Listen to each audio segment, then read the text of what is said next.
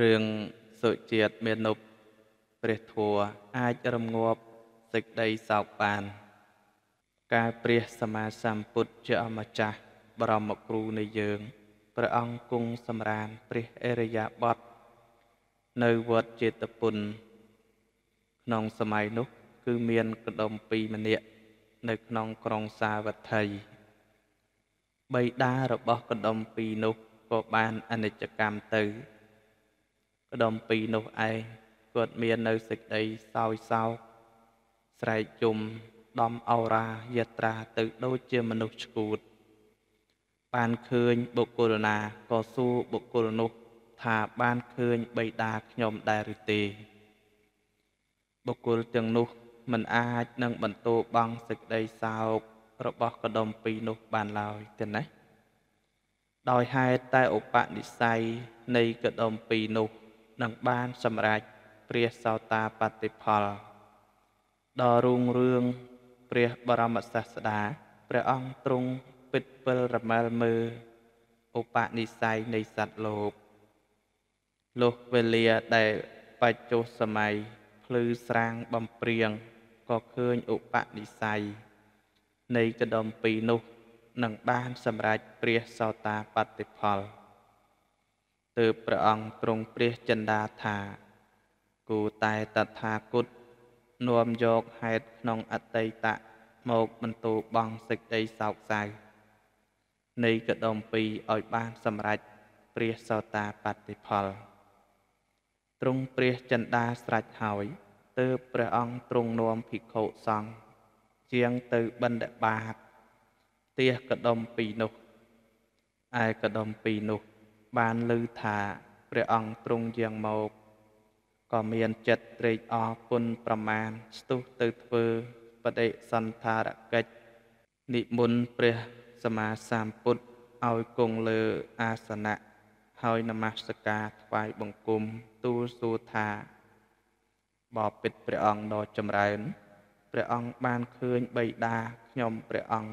នៅក្នុងទីណា ព្រះបរមសាស្តា ទ្រង់មានព្រះពុទ្ធដីកាថា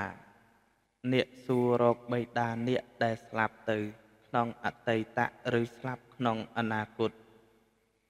កដុំពីរនោះ បានស្ដាប់ព្រះពុទ្ធដីកាដូច្នោះមានចិត្តបន្ទោបងសេចក្តីសោកដោយគិតថា កំណើតសពសัตว์ដែលកើតមកក្នុងវាលវត្តសង្សារនឹងរាប់បៃតាពុំអស់ មិនមែនមានតែបៃតាមួយទេលុះកដំពីគិតឃើញដូច្នោះហើយក៏នៅស្ងៀមលំដាប់នោះ ព្រះបរមគ្រូទ្រង់មានព្រះពុទ្ធដីកា បន្ទោបងសេចក្តីសោកហើយទ្រង់សម្ដែងព្រះធម្មទេសនាឲ្យកដំពីនោះ បានតាំងនៅក្នុងព្រះសោតាបតិផល តម្កល់ចិត្តសុបក្នុងព្រះពុទ្ធសាសនា ទើបព្រះអង្គទ្រង់នាំភិក្ខុសង្ឃនិមន្តត្រឡប់ទៅកាន់វត្តចិត្តពុនវិញលំដាប់នោះព្រះភិក្ខុសង្ឃក៏បាននាំយករឿងនោះមកប្រជុំគ្នានៅក្នុងរោងធម្មសភាថាមនាលអាវុសោទាំងឡាយនាគចូលពិតពិលរមាល់មើអានុភាពនៃព្រះដ៏មានបុណ្យឧបាសកប្រកបដោយសេចក្តីសោក និងរកបុគ្គលណាខួតមិនបានក៏ព្រះអង្គទ្រង់ធ្វើឲ្យបានសម្រេចព្រះសោតាបតិផលតែម្ដង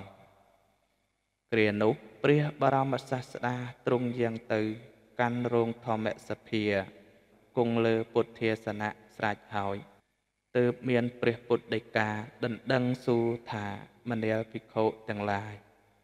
អ្នកទាំងឡាយមកប្រជុំគ្នាក្នុងទីនេះ តើមានហេតុដូចម្ដេច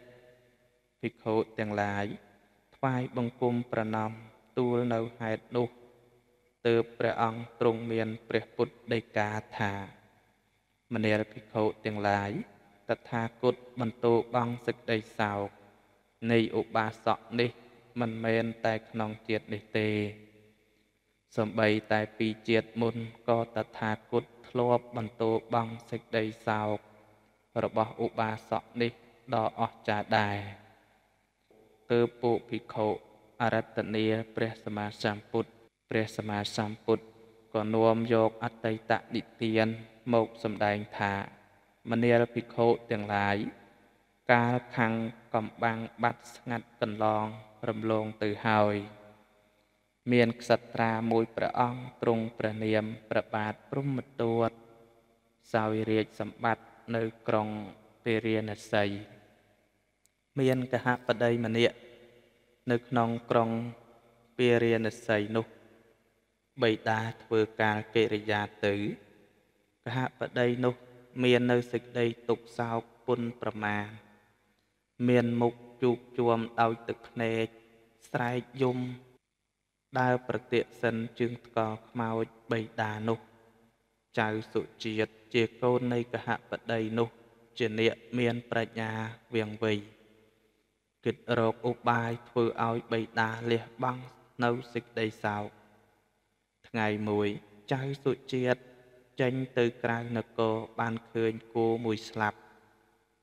លុះគិតឃើញហើយក៏បោចស្មៅនឹងទឹកយកទៅតម្កល់ទុក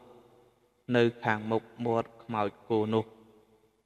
រួចស្រែកទ្រហោយំហៅគោនោះហាក់ដូចជាមានជីវិតថា ចូលស៊ីស្មៅផឹកទឹក មនុស្សទាំងឡាយដើរទៅមកបានឃើញចៅសុជាតិធ្វើដូច្នោះទើបស្រដីសួរថាចៅនេះឈួតទេ ដឹងបានជាយកស្មៅទឹកមកឲ្យគោស្លាប់ស៊ីចៅសុជាតិបានស្ដាប់ហើយក៏នៅស្ងៀមពួកមនុស្សទាំងឡាយនោះ នាំយកសេចក្តីនោះទៅនិយាយប្រាប់မိដាចៅសុជាតិថា កូនអ្នកដូចជាឈួតមានចិត្តប្រែប្រួល យកស្មៅទឹកឲ្យគោស្លាប់ស៊ីឯកហបតីបានស្ដាប់ហើយក៏យាត្រាទៅយ៉ាងប្រញាប់ មានចិត្តរងាប់បង់នៅសេចក្តីសោកដោយគិតស្មានថា ចៅសុជាតិជាកូនឈួតមែន លុះទៅដល់ហើយស្រដីនឹងចៅសុជាតិថាមនាលនាគមានចំណេះចេះដឹងជ្រៅជ្រះប្រាជ្ញាវៀងវៃព្រោះហេតុអ្វីក៏នាគយកស្មៅនិងទឹកមកឲ្យគោស្លាប់ស៊ីកូនឯងធ្វើដូច្នេះហាក់ដូចជាមនុស្សឈួតល្ងងខ្លៅចៅសុជាតិបានស្ដាប់ពាក្យបិតាហើយក៏គិតធ្វើឲ្យបិតាដឹងខ្លួន ទើបនិយាយថាគូនេះមានជើង4ក្បាលខ្លួនកន្ទុយភ្នែកនៅបរិបូរពុំទួនមានដំបៅស្អុយដេកនៅស្ងៀមស្លាប់ ដូចជាពុំស្លាប់ខ្ញុំសំគាល់ថាវាក្រោកឡើងបានឯជើងក្តីដៃក្តីក្បាលក្តីកាយក្តីពុំប្រកបបីដាបានដាក់ឆ្អឹងជីតានៅក្នុងស្តូប ដែលធ្វើដោយដីឥដ្ឋជាមនុស្សឆោតល្ងងខ្លៅមិនដឹងថាសង្ខារទាំងឡាយកើតឡើងហើយរលត់រលាយទៅវិញបៃតាបានស្ដាប់ពាក្យព្រះបរមពោធិសត្វបានដឹងថាកូនជាបណ្ឌិតមែនធ្វើការទាំងនេះឲ្យយើងដឹងខ្លួនទើបសរសើរកូនប្រុសថាមនាលចៅសុជាតិសពសัตว์មានសេចក្តីស្លាប់ធម្មតា យើងបានដឹងហើយចាប់តាំងពីពេលនេះ យើងលែងយំសោកស្រណោះអាល័យស្ដាយដូចពេលមុនទៀតហើយសេចក្តីសោកស្ដាយរបស់យើង នាំឲ្យក្តៅក្រហល់ក្រហាយដូចជាភ្លើងឆេះព្រៃកណ្ដាលថ្ងៃរីបាឯងដូចជាគេនាំយកទឹកមកស្រោចស្រពរំលត់ភ្លើងនោះកហបតីលុះបានស្ដាប់ពាក្យចៅសុជាតិជាកូន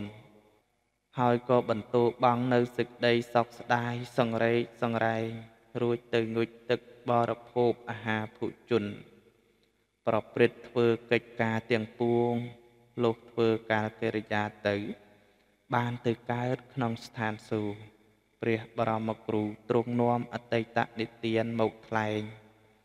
សម្ដែងធម៌ទេសនាអំពីចតុរារិយសច្ចៈស្រេចហើយមនុស្សម្នាផងទាំងឡាយ បានតម្កល់ចិត្តក្នុងព្រះសោតាបត្តិផលទើបព្រះអង្គទ្រង់ប្រជុំនិទានជាដកថាបៃតាចៅសុជាតិនោះ គឺកដុំពីរនឹងឯងហើយចៅសុជាតិគឺអង្គតថាគតរឿងសុជាតិមានុបក៏សន្មត់ថានឹងចប់ប៉ុណ្ណេះសូមអនុមោទនា